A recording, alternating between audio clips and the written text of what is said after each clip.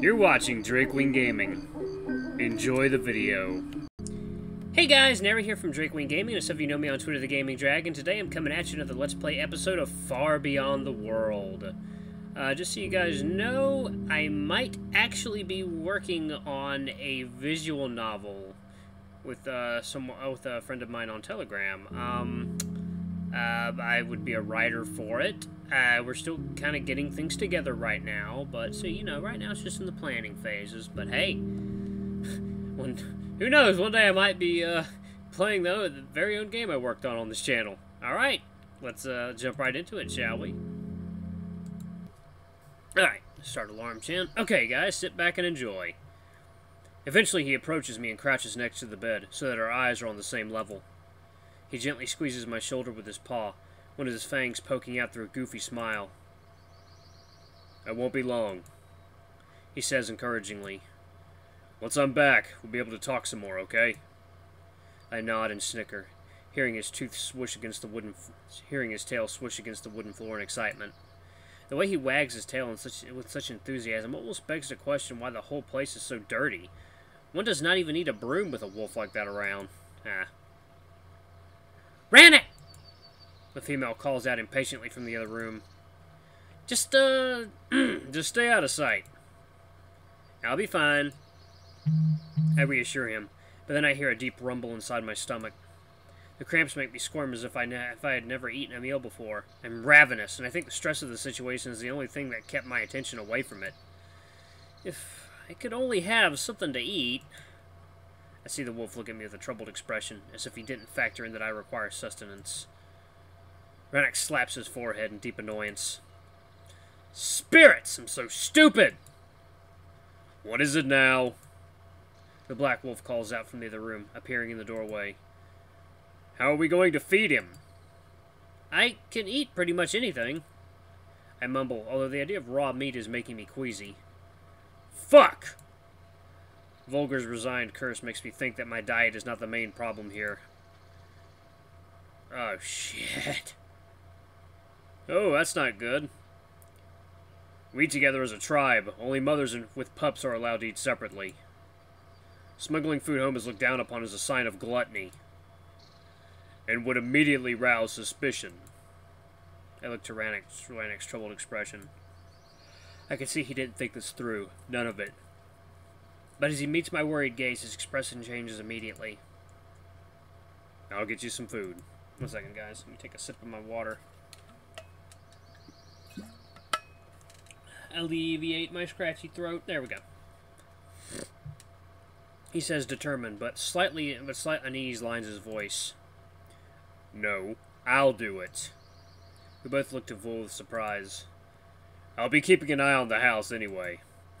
He shrugs with a hint of embarrassment. Even Rannoch picks up on it, smirking. Hey, you're warming up to Orion, aren't you? Psst. As if as if, you idiot. It's just super, it's just easier that way. It's just super easier that way. The black male scoffs indignantly. No one would dare follow me. Once the feast starts, I'll bring the piglet some roast. I hope roasted meat agrees with you. I smile in relief as the thought of eating raw eating raw was banished by his words. Why did I assume they would eat anything uncooked when they're clearly, clearly as civilized as I am? Let's go. Vulgor utters impatiently, tapping his foot against the ground and causing Rannoch to stand up. The Grey Wolf winks at me, while tilting his head towards the small window. Stay out of sight. I nod as he, as he follows his companions out of the bedroom. They close the doors behind, and a moment later I can hear them leave the house together. I am finally alone. I look around the tiny room, idly patting at the bedding. There isn't much noise, mostly some distant chatter I can't make out, muffled voices too far away to be intelligible. What I do hear is the forest, wind ruffling and the leaves and birds chirping in nearby trees. I am tempted to approach the window and simply take in the scenery, but I know better. I close my eyes and chuckle nervously. This is utter nonsense. I must be dreaming. Or maybe I am the one who huffed some incense? Save it right here, guys.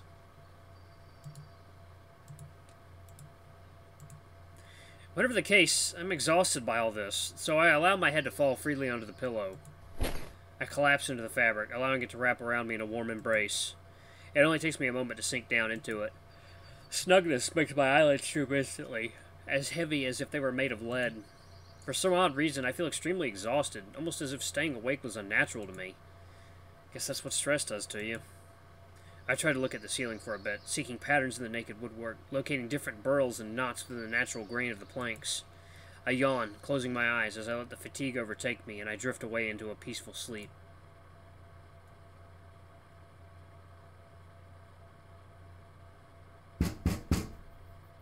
I suddenly wake to a loud, resonating thud. I get up immediately, seeing the room covered in darkness. It's clearly night. How long was I asleep? Another thud makes me jump, but this time I know where it's coming from. Someone's banging on the window. Rannoch? I'll call out quietly towards the next room. I know the male went to deal with his tribesmen, but I hope he already returned. The banging continues, this time more impatient, and I start to panic. I look towards the window, trying to remain hidden within the shadows of the room. I'm not supposed to be seen. I can make out a large dark figure, obviously a wolf. I think it might be one of the tribesmen snooping around. Wasn't Vulgor supposed to make sure this didn't happen? Open the damn window! I hear the familiar cold voice and exhale in relief. I approach the window, feeling a lot less worried than before, quickly locating the latch, holding it closed. Both wings open with a tortured creak, obviously not used to being swung ajar. Here's your chow, piglet. The wolf passes me a sizable bundle wrapped in a linen cloth. Thank you. I respond, taking the parcel. I smile, feeling the aroma of roasted meat hit my nostrils. I'd nearly forgotten how hungry I am. Aren't you going to come in? What are you cats doing, being sillies? No one lives with Rannoch and he's not home. Besides, it's already night. I look around, noticing how dark the outside world has gotten. Can he have a friend over? I ask, slowly unfolding the cloth. Not overnight. The black male responds, almost appalled by the suggestion. Why? Because that would make them both look defective. I make a dumb huh sound, to which he only gives me a telling gaze. Oh! Guess wolves don't like homosexuality. But just because two guys are alone in the same room at night doesn't mean they... I try to rationalize, but I can see his rising brow with each word I utter. Yeah, that does sound a bit off now that I think about it. Is that why you're standing outside the window? Afraid I would seduce you? To my surprise, Vulgor snorts at the suggestion and almost smiles. An actual pig would have better chances at that. I raise an eyebrow with a challenging smirk. It seems more suspicious to have males sneaking about windows rather than having them over for a drink. Vulgor narrows his brows, looking at me with slight amusement. You couldn't drink or you would have a piss bucket, suckling. Ouch. The jab wasn't malicious, but ouch. He's definitely being playful, but considering choking me out was his gentler side, why would I expect his verbal spars to be any tamer? I just shake my head with a smile. At least having a female over has to be normal around here, right? I don't believe even for a moment this village is full of celibate homophobes. What are you animals doing? You sillies. How about a lady collar, then? Can he have those over? Vulgor snorts again. He can, and as much as you do sound like a little bitch, it's a small tribe. Save right here. I nearly choke at the sharp remark, looking at Vol with obvious annoyance. He clearly enjoys at least one of his jabs finally landed. Having a female over is quite hard to misunderstand. A mate leads to rumors, rumors raise suspicion, and suspicion leads to wolves sniffing about. We wouldn't want that, would we? I shrug, finally opening the parcel to reveal its contents. It's filled with succulent cuts of meat. They don't look the most appetizing, mostly shredded apart without a care, but the smell alone is enough to make my mouth water. I quickly glance around, really troubled by our little rendezvous. It does look quite conspicuous. Don't worry, I'll know if anyone gets close enough to vanish in time. I flash my brows indifferently. Guess not only Rannoch is full of himself. I quickly grab one of the chunks and bring it to my lips. Vulgor gazes at me with extreme curiosity, but I'm far too hungry to pay him any mind. I take a ravenous bite. The meat falls apart at the slightest touch of my tongue, almost melting inside my mouth. I gasp in satisfaction, closing my eyes in complete bliss. Mm-hmm. It's good. It's very good. But no matter how hard I try, I cannot figure out what it is that I'm actually eating. Despite my memory being wiped clean, I can still recall certain things. I remember how chicken tastes or beef. This is something different entirely. I take another chunk, hastily shuffling, hastily stuffing, stuffing its hole into my mouth. Stuffing it whole into my mouth. God, I'm hungry and this meat is hitting the spot. It tastes like nothing I ever knew. It's slightly sweet and has an earthy, almost nutty flavor to it. So good. What is it? I ask, still chewing through the sinew, forgetting my manners for a moment. It's going to be something terrible, isn't it? Oh, boar, okay. Roasted boar. The male responds. There's an odd discomfort in his voice, but I ignore him. I'm utterly consumed by this meal, as I can finally feel the large void in my stomach fill up. It's almost as if I haven't eaten it forever. I take another piece of meat, reveling in its tenderness and juices. This is going to make me sick.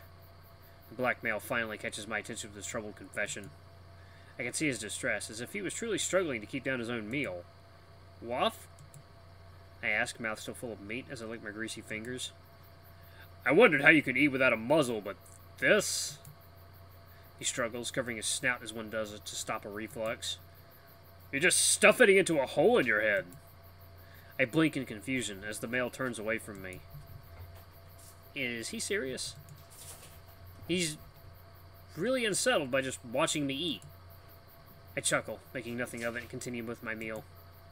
The idea of this large, cold warrior getting weak at the knees because of my mouth is too much. I'm about to laugh when... Blah! What the... Vulgor has just wrenched a few steps away from the window. I look at his crouching figure in momentary disbelief, but as he purges again, I immediately take my food off the ledge. I know that if the acidy smell hits my nose, I will join him in emptying my own stomach, so I quickly close the window. I stand there, looking for any signs of him getting better, but after a while I bring another piece of meat to my mouth with a shrug. just eating just eating meat while your uh, acquaintance over there is barfing his guts up. I'm still hungry after all. Finally, Vulgor appears on the other side of the glass, looking at me with an accusatory gaze. I pause, but his embarrassment makes me chuckle, and then I lose it. I explode in loud laughter, which causes the male to wave at me in panic. It only makes me laugh harder. I can't believe I made this wolf sick just by eating. Shh, be quiet! He shushes me, but I'm unable to rein myself in. Close the window, close the window. Shut up, flatface, or I'll come in there and choke you again. He finally growls in playful annoyance. I hush down, looking at him with a smirk. Flatface? You really need to keep quiet. If anyone finds you here... I know, I know. Sit right here. I roll my eyes. But I really think you three are exaggerating a little bit. I blurt out, causing the Black Wolf's eyes to narrow. Your people wouldn't kill me just because I got lost in their woods. I mean, even you understand this isn't right. You know nothing, Piglet. Cats are playing with the pizza box. You know nothing, Jon Snow. I shrug, continuing to nibble on the meat.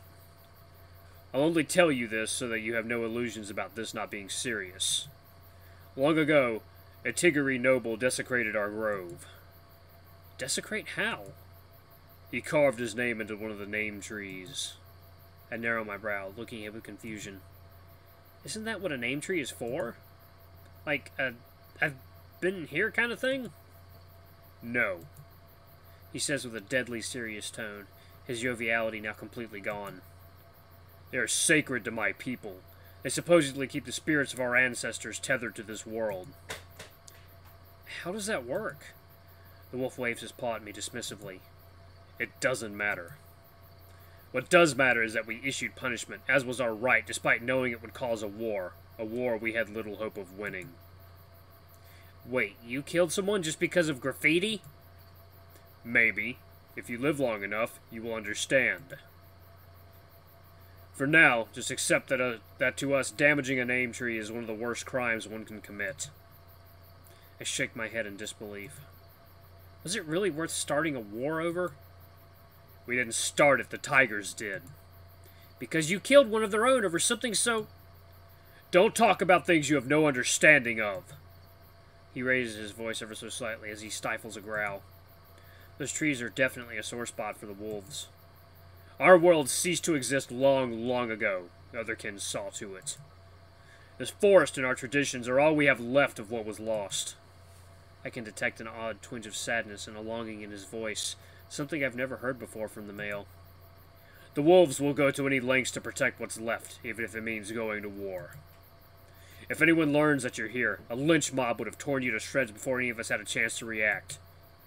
I stop eating, feeling the weight of his words finally sink in. Despite not really understanding the full context of what he said, it's clear that the wolves hate Otherkin. I'm... I'm sorry. I didn't mean to upset you.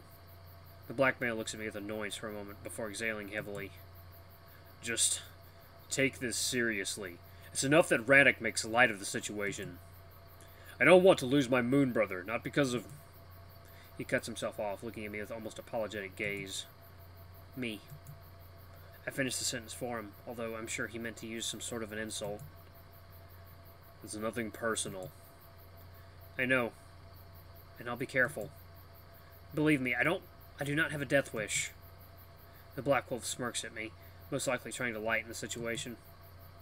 Oh? Well, you could have fooled me. I better go. If I stay much longer, others will wonder where I disappeared to. Vol?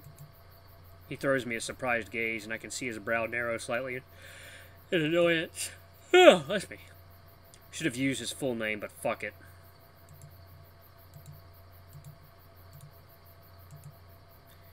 Thanks. He shrugs, leaving me alone, and I return to the bed. I plop onto the mattress, bouncing up and down a bit, trying to calm myself down. I really hope I didn't annoy him as much as it seemed I did. The delicious, meaty smell that drifts through the air from the parcel invites me to dig in once again. My mood instantly lifts, if only slightly, as I bite into another succulent cut. It's tasty, but I really wouldn't mind having something else to go with it. Bread!